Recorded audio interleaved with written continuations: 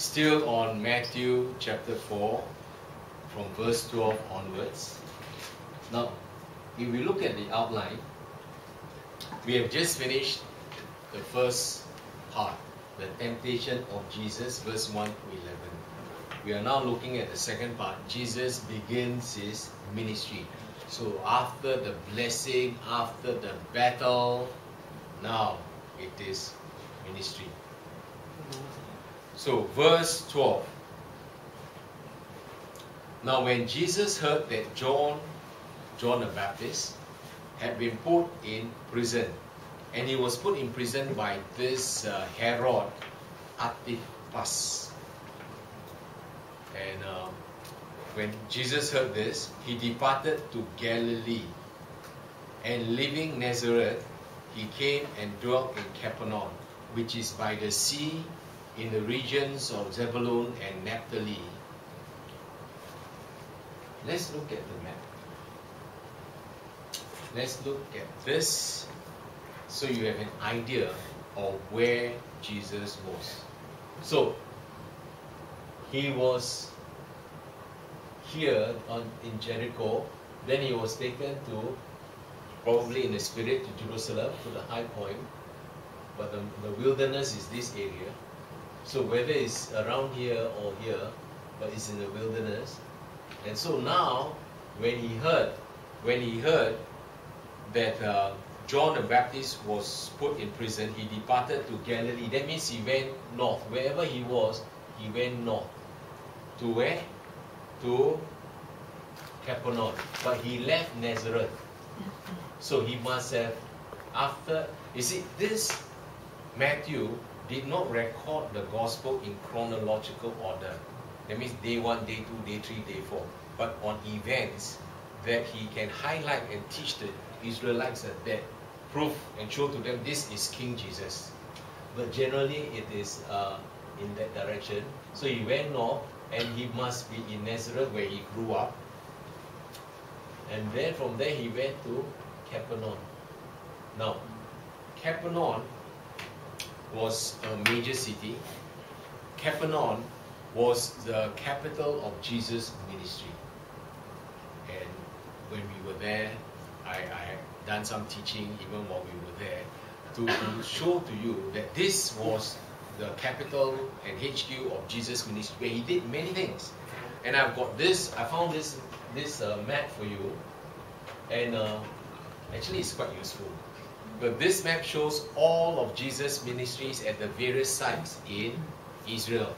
So you see, all these are boxes of what he did. Jesus teaches on marriage. Jesus uh, uh, spoke to oh, his disciples. Okay.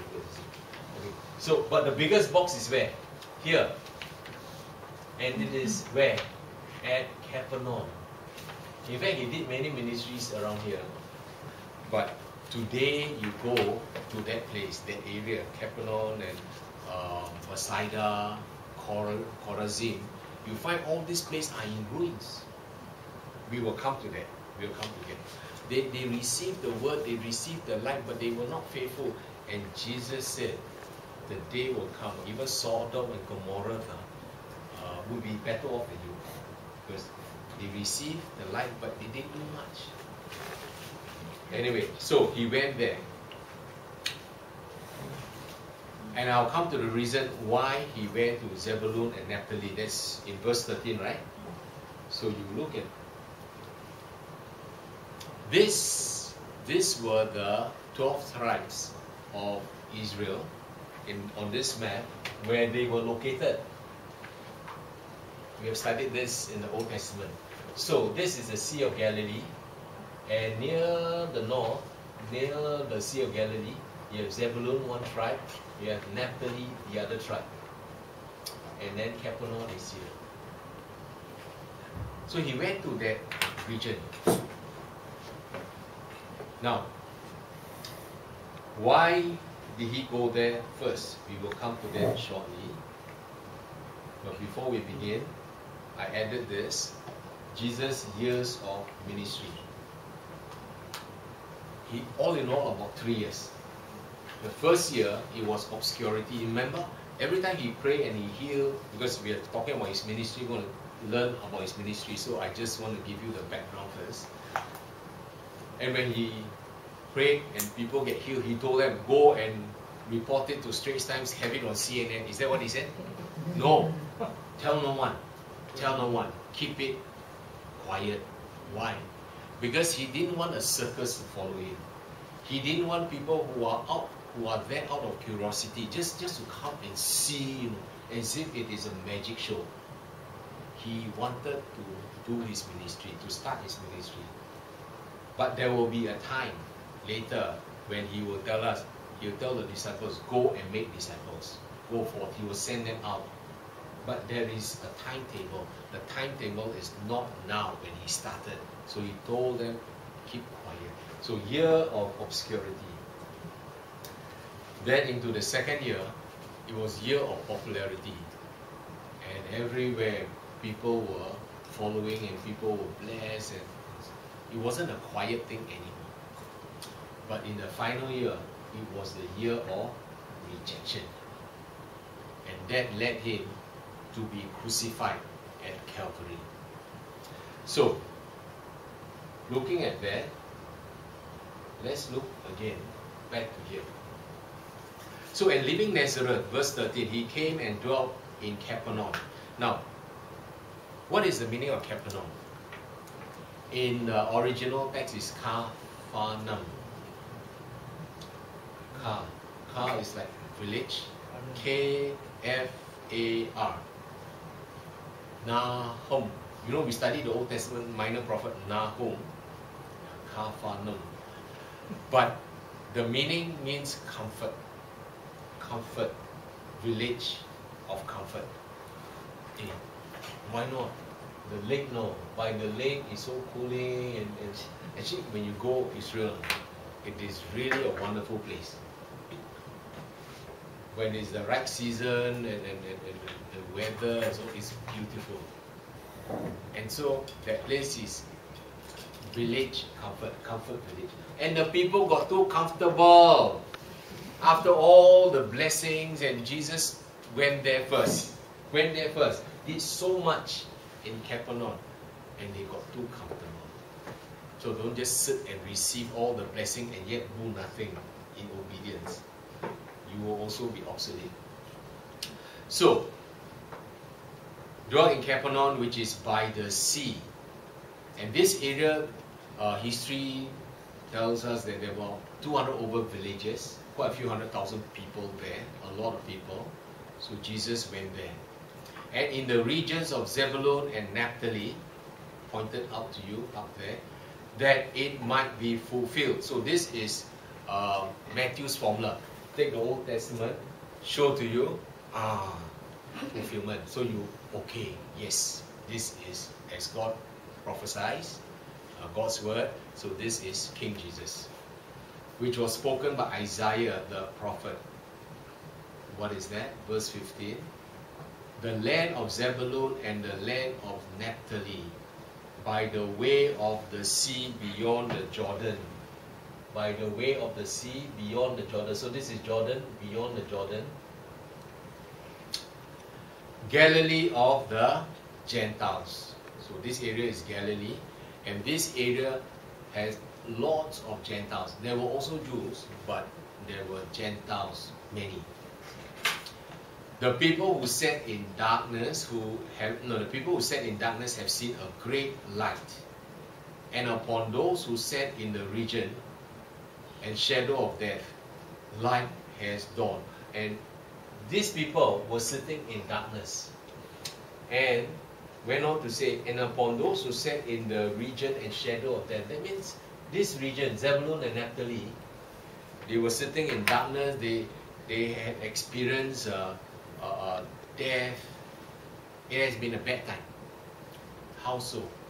You know, in the Old Testament, which we studied, before the Babylonians came down, the Assyrians came down first, right? And the Assyrians took the northern kingdom into exile.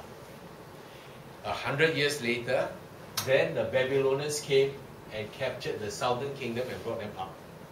So the Assyrians came down first, and then the first hit was who? Naphtali, and then Zebulun. So these were the historically, these were the first two tribes taken by the Assyrians into exile. And when that happened, you know, they were not going to, they were not going on a holiday tour package. They were going into exile, difficult times ahead. And so they were in darkness. And Christ, the light, light has dawned. They have seen a great light. Who is this great light? Jesus. And Jesus came for these people first because they were the first to be taken away and to be in the darkness.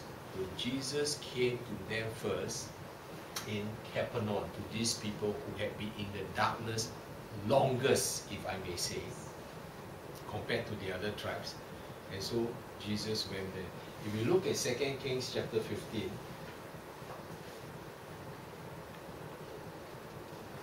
Second Kings chapter 15, verse 29.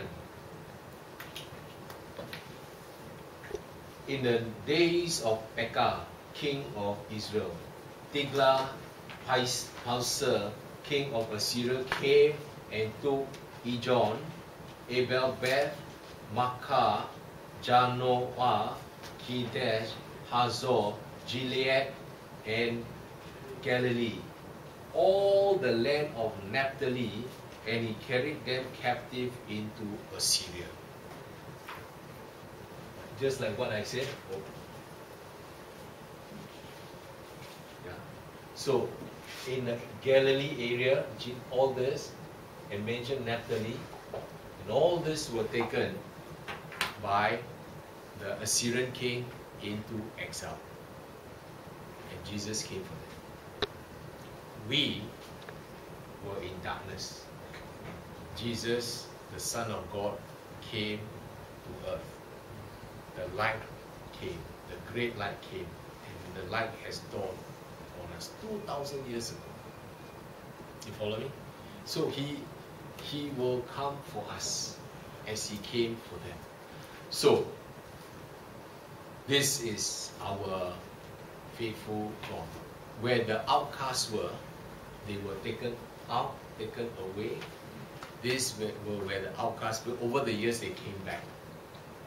When they came back, they feel like outcasts, and, and there were plenty of Gentiles there. And Gentiles, they worship pagan gods. And these are the people with the greatest need. He didn't come for the righteous, he came for the sinners. And he came for them, he came for us. And the good thing is he loves the sinners. So we move on to verse 17. But before we do, since I mentioned just now, okay, let's look at Matthew chapter 11, verse 23.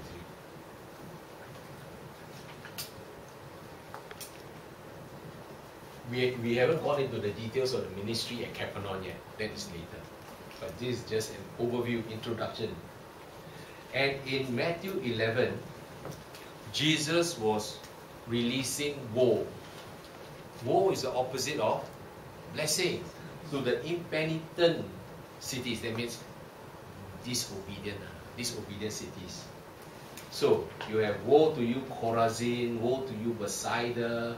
Yeah, if you had been, if all which were done in you had been done in Tyre and Sidon, they would have repented long ago in sackcloth and ashes. But I say to you, it will be more tolerable for Tyre and Sidon, which are up in the north west coast. If you remember, even the Babylonians, Alexander the Great went there. Um, it will be more tolerable for them in the day of judgment than for you. And then now he points, verse 23, and you, Capernaum. That is that was the capital of Jesus' ministry, right? A lot of miracles done there and you, Capernaum, who are exalted to heaven. That means great things are of wonders, of grace from heaven shown to them. And Jesus used the word are exalted, not were, because he was still with them. Will be brought down to Hades. And you, Capernaum, who are exalted to heaven, you'll be brought down to Hades, hell. For if the mighty works which were done in you had been done in Sodom, you know how terrible Sodom and Gomorrah, right? Become a bit of salt, the whole place. After all the rain, or the rain of fire, it would have remained until this day. That means Sodom would have repented and they would be a city until this day. But I say to you that it shall be more tolerable for the land of Sodom in the day of judgment than for you, Capernaum. Lesson for us. May it never happen to us. Because the more light we have received, the more responsibility we have. And let it not be the day that you neglected the Word of God, you neglected things that God has done in you, in your life, and you ignore Him. And if you do, then where Capernaum shall be, you and I can be there as well. And we don't want that. Okay? We want to hold fast our confession and not let go of our confession. And it's so sad if you go to uh, Nazareth, Jesus was born there. No, he was uh, Bethlehem. Ah, sorry, Bethlehem. Brought up in Nazareth. If you have gone to Bethlehem in Israel, I, I, I bring you as well. You see, today that whole place is more, not so many Jews, ah. Jewish. There are more Muslims. But it was supposed to be when Jesus was born and, and uh, the Jewish people and so on. But it is not. I always tell the tour, my tour group, you see, take a look. Does it look like a Jewish place? It is not. Okay? So, where are we? Verse 17. Hmm. From that time, Jesus began to preach and to say. So, from that time, his public ministry started. Hmm. From that time, Jesus began to preach and to say, Repent, for the kingdom of heaven is at hand. Repent. What is repent? Repent means change direction. From where you are going, what you have been doing, you turn around. And that you will not go back to what you used to do before you came to know Jesus. So, repent for the kingdom of heaven. And as I mentioned uh, the last time we met, in Matthew, it is only in Matthew that he used kingdom of heaven in the Gospel of Matthew. All the others are kingdom of God. And this kingdom of heaven is to talk, is to be, uh, describe to us the rule and the reign of God or of heaven over the earth. And many preachers and teachers they use it interchangeably. Kingdom of heaven, kingdom of God. But in, in the gospel according to Matthew, it is kingdom of heaven. So if Jesus said kingdom of heaven, if there is a kingdom, there must be a king. Correct? Then call kingdom for what? There must be a king. And who is the king? Him. Because he said, repent for the kingdom of heaven is at hand. He is now here. He is with them. That's what he was saying. And as Jesus said this, when he proclaimed this, something so like sovereign, like from God, he must be doing it in the office of a prophet. Because the prophet is one who echoes, who brings what who represents God before men. Whatever God tells the prophet, he tell it to the people. So he was acting in the office of a prophet. He came forth and he just said, Repent, for the kingdom of heaven is at hand. So he was doing so in the capacity, in the office of a prophet. And this was not new if they had known the scriptures, they would have known Deuteronomy 18 18. You know Deuteronomy 18 18. The people would have thought, hey, Moses, uh, you must be the prophet. Uh. You must be the prophet. Because you went up Mount Sinai and then you brought down the word, the commandments and, and the, the laws and everything. But what did what did Moses tell them? And the Lord said to me, Moses, what they have spoken is good. I will means what God told Moses, what they have said, what they have spoken is good, the people. I will raise up for them a prophet like you, like Moses, but this is capital P. A prophet like you from among their brethren, and I will put my words in his mouth. He shall speak to them all that I command him.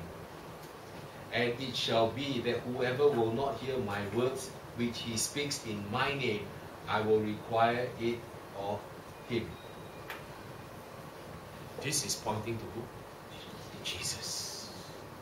And so Jesus in Matthew chapter 4 verse 17 in the office of a prophet he said repent for the kingdom of heaven is at hand and if you reject this you don't repent then God said whoever will not hear my words which he speaks in my name I will require it of him that means he will be do require his life God doesn't want to kill us. He wants us to live forever. But for those who reject, He'll require it of Him. And he will be in His absence for all eternity. Verse 18. And now is recruitment time. Recruitment time. And Jesus walking by the Sea of Galilee, you remember the picture up there, saw two brothers, Simon called Peter and Andrew his brother casting a net into the sea, for they were fishermen. And it is a beautiful lake. It is a beautiful lake. And it shapes like a heart. If you look at the shape,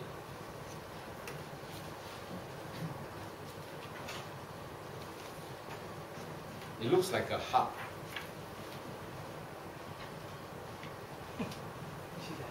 So, and we sail on the boat.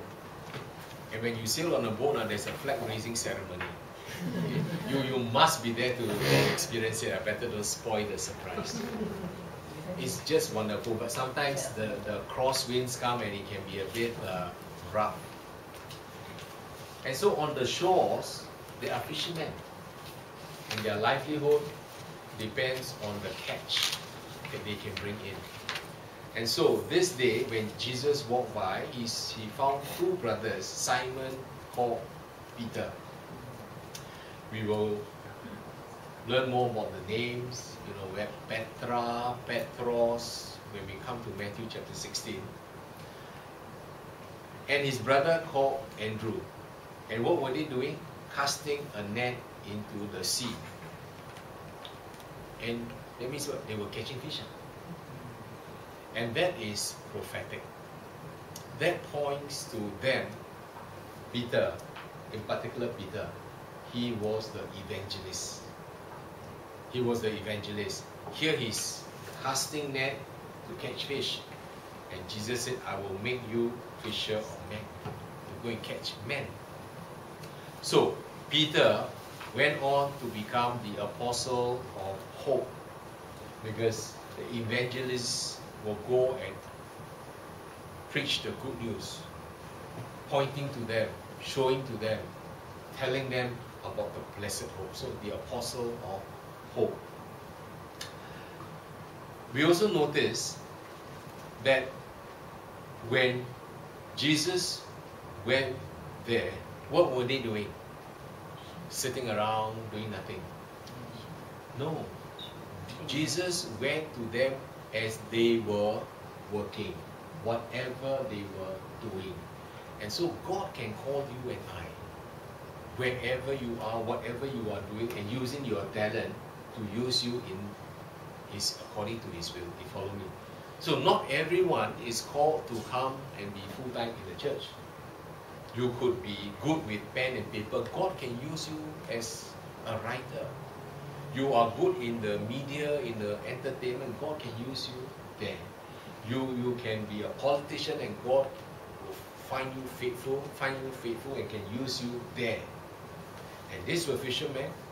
And Jesus started his ministry. He need to fish men, fish for men. So he went to look for fishermen. So be faithful in whatever you do. God can find you and use you. Then he said to them, Follow me, and I will make you fishers of men. He did not tell Peter and Andrew, Hey, by the way, would you like to consider a second career? If you have the time, can we meet this evening after you finish work? Mm-hmm.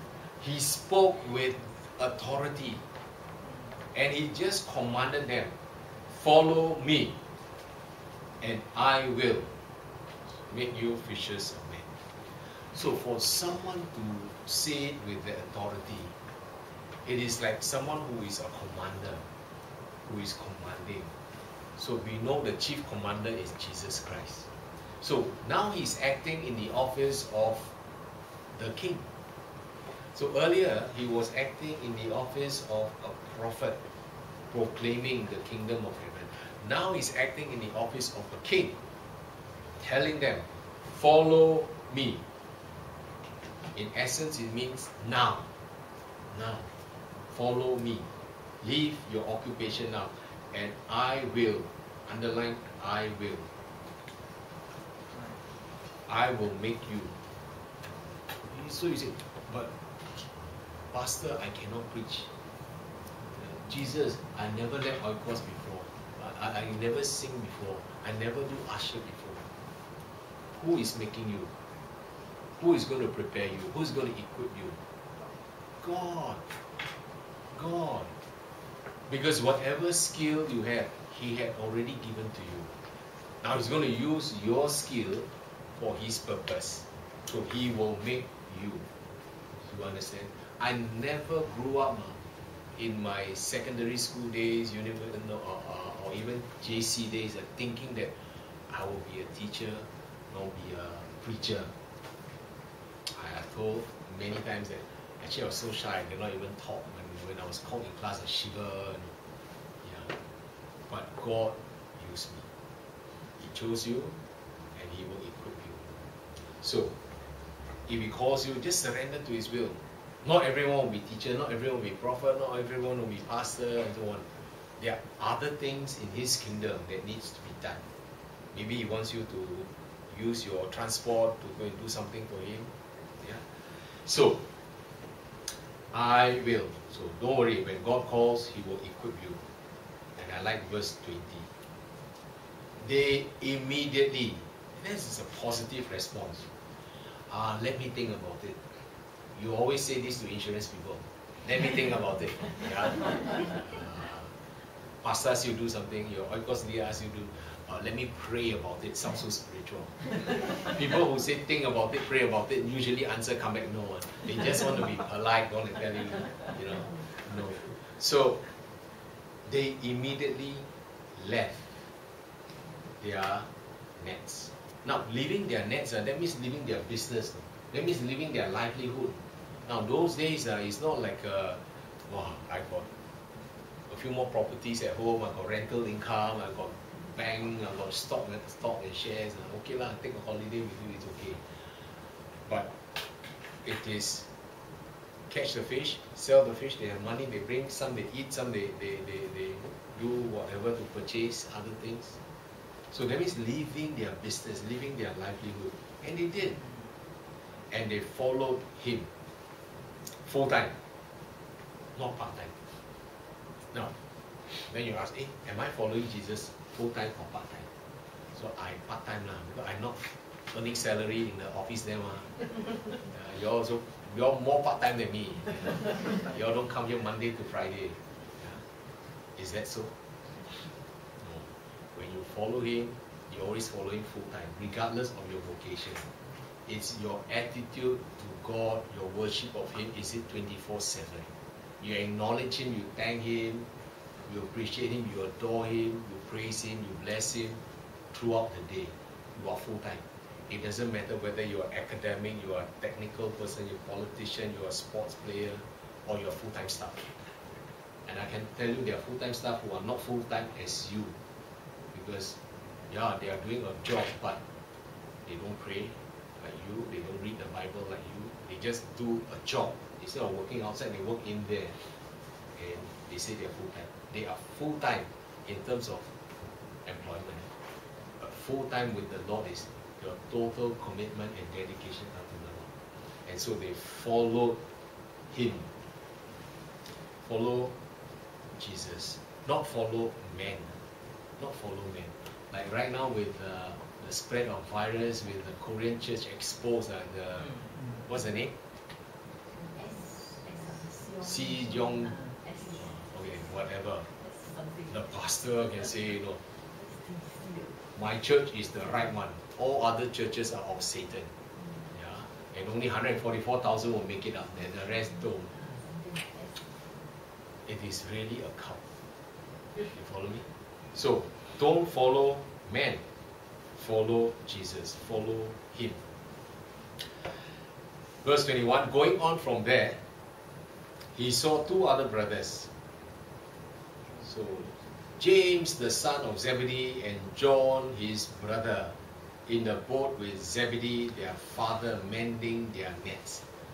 So uh, it looks like fishing was like a very common trade. People live off the land and they live off the sea. So here you have these two brothers, and if you study later, uh, they are called sons of thunder. You know why sons of thunder? Because they got bad temper, very hot temper. Not happy any. Jesus, why don't you call lightning and fire come now and strike them? We'll read that later.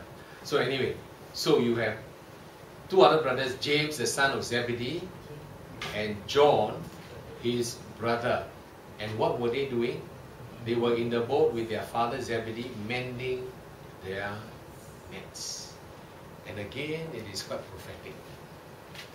We look at John. Just now, the two brothers, we look at Peter. This one, uh, James and John, we look at John.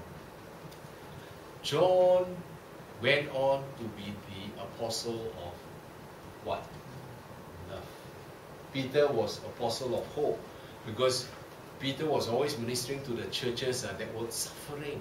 He kept telling them to persevere. In fact, if you are punished for doing wrong, what good is there? But it is when you are punished, when you are doing good, ah, you know, persevere. Telling them a hope. That's Peter. When John, John is the apostle of love.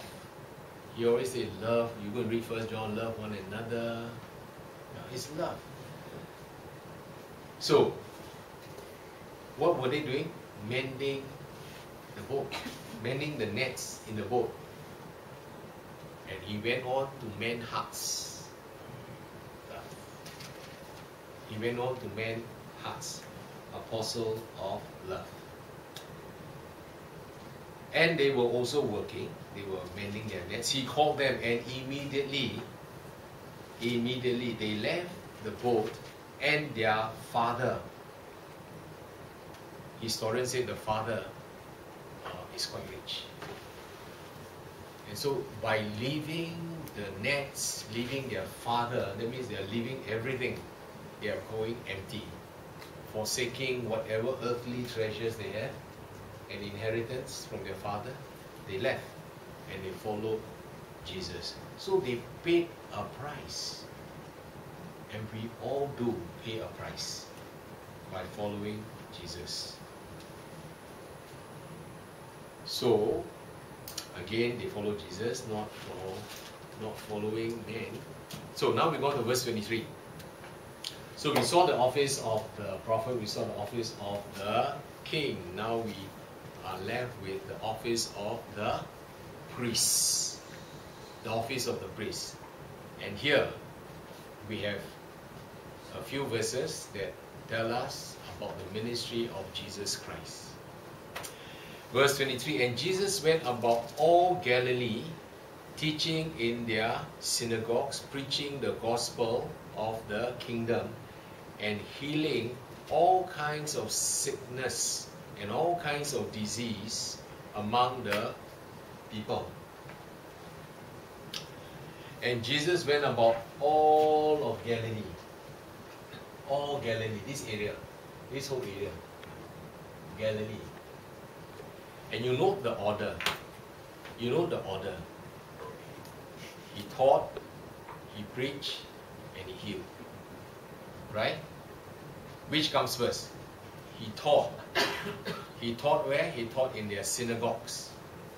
Then he preached the gospel of the kingdom. Then he healed. Okay, let's look at teaching. Teaching comes first. And he went where? He went to the synagogue. Now, I have a picture here. I mentioned last Sunday at the, uh, at the Sunday service. Now, a typical outline of the synagogue is this. So you have uh, the in the center you have this is like the pulpit bima. Yeah, this then you have seats on the left and on the right, and the women they sit on one side. Then you have the lamp and then the ark. Not like the ark of the covenant, but it is like an enclosed space. Now this, for the Jews, they will come and then they will study the word and uh, the rabbi or any learned person, scholar, anyone who knows the word, the scribe, the whoever, he can have the time at the pulpit and he can address the people and teach them the word, share with them the word.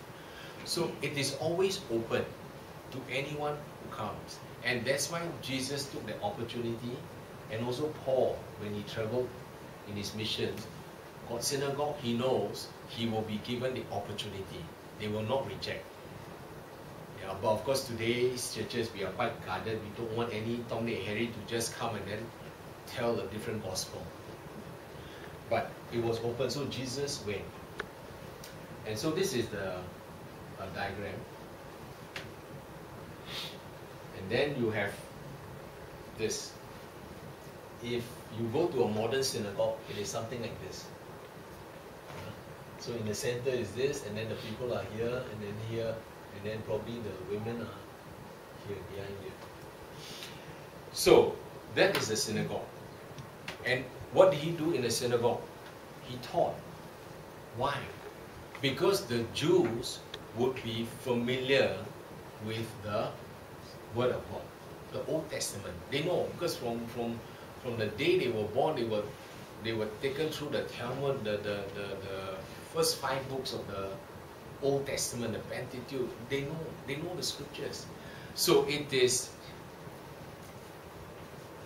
reaching out and expounding exposition or explaining to the familiar. Because these people are familiar with the scripture. So it's not like starting from ground zero.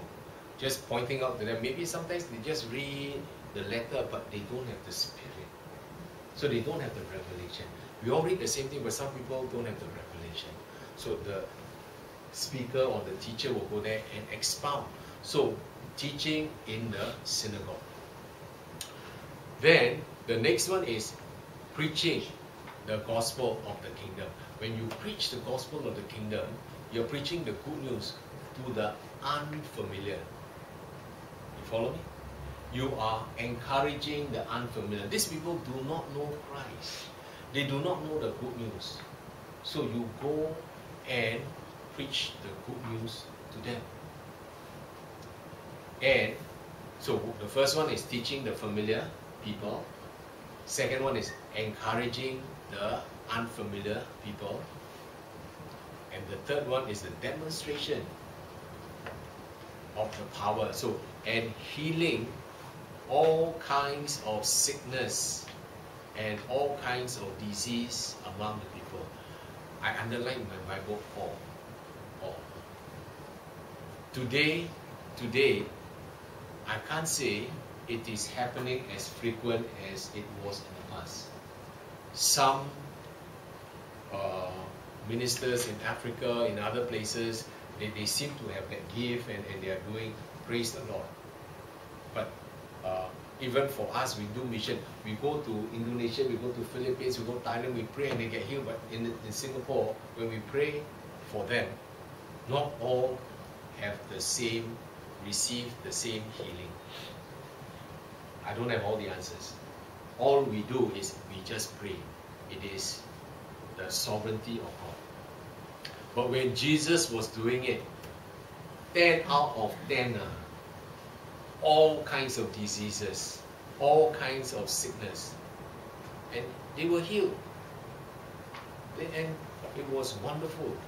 But the point I want to make is, you notice the order. There was teaching, and there was preaching, and then there was demonstration of the power, healing. But some people come along and they just do emphasize only on healing, healing, healing. Now it's died down, but I think like some 15, 20 years ago, there are people who just come to town and just do nothing but healing. Just healing, healing. The word is like secondary, just healing, healing. Uh, then you get people chasing you from stadium to stadium, from church to church, and then all they want is healing, healing. Now, even if you, uh, there was one uh, person who, um, I can't remember the name. And it just focus on healing, healing, but the word is so, the, the proportion of time given to the word is so limited. So we follow Jesus' ministry, teaching, preaching, and healing. Verse 24 Then his fame went throughout all Syria. Go back to the back. So you see, a lot of boxes here. I mean, the box are a lot of description. So all the diseases and healing is all. And Syria is where? Syria is up there. Syria is up there. Up north. And his fame went throughout all Syria, and they brought to him all sick people who were afflicted in with various diseases and torments, and those who were demon possessed, epileptics, and paralytics. And he underlined, and he healed them. Jesus heals them. Jesus still heals today.